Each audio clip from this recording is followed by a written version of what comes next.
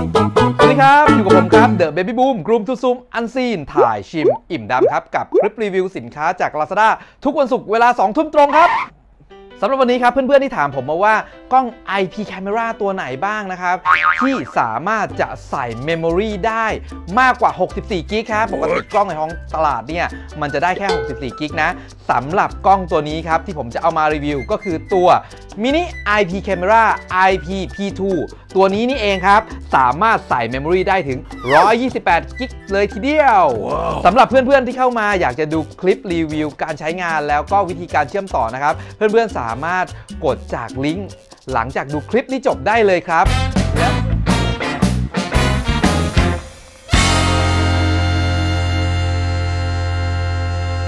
ครับสำหรับตอนนี้นะครับเราก็มาแกะกล่องครับกับเจ้าตัวมินิ IP Camera ครับ รุ่น P2 ฮะจาก Nanotech นั่นเองนะครับ โอ้โหนะอะมาดูกันครับ กล่องก็มาเป็นกล่องแบบนี้นะสีขาวครับ ด้านหน้ากล่องครับก็เห็นชัดเจนเลยครับ มีตัว QR code มาให้เรานะสำหรับดาวน์โหลดแอปพลิเคชันนะครับ ไม่ต้องไปดูเล็กๆ อยู่ในคู่มืออีกแล้วนะ เปิดออกมาครับ ก็เจอคู่มือครับที่ผม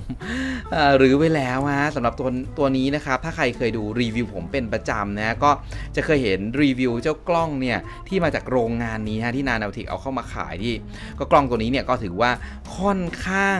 มีภาพแล้วก็ไฟล์ต่างๆเนี่ยชัดพอสมควรเลยทีเดียวนะนะครับอะมาดูต่อครับ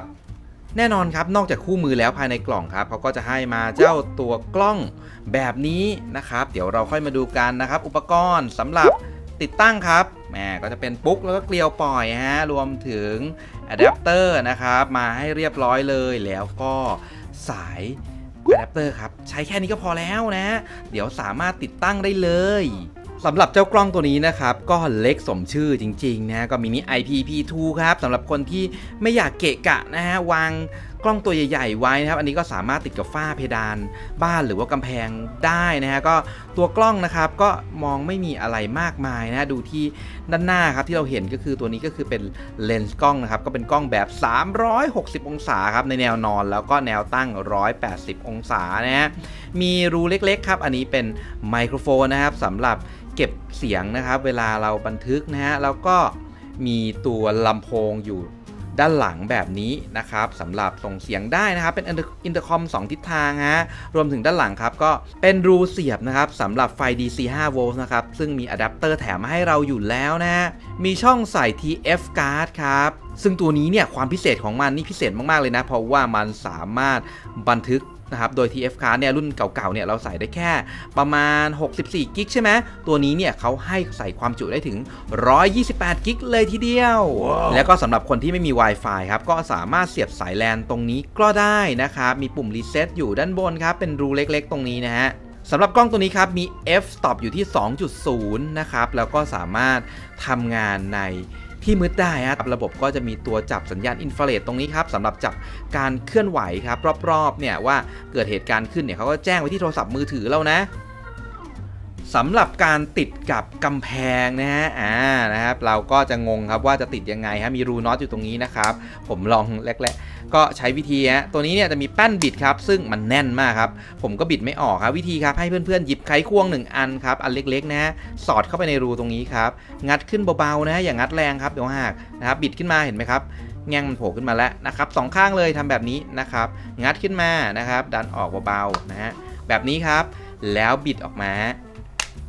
แค่นี้เองนะครับ ก็สามารถมีตัวที่จะไปยึดกับน็อตนะครับ แล้วก็ติดตั้งบนเพดานได้แล้วนะครับ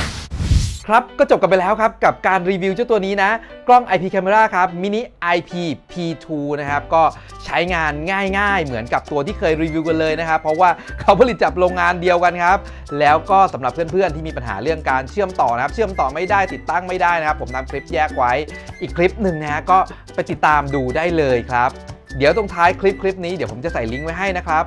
ก็สำหรับเจ้าตัว IPP2 ครับก็ใช้งานได้ดีมากๆนะฮะแล้วก็เล็กกระทัดรัดนะครับสำหรับคนที่อยากได้กล้องวงจรปิดนะครับไปติดที่เพดานหรือฝ้าเพดานเนี่ยก็สามารถติดตั้งได้ง่าย ๆ เลยการเชื่อมต่อก็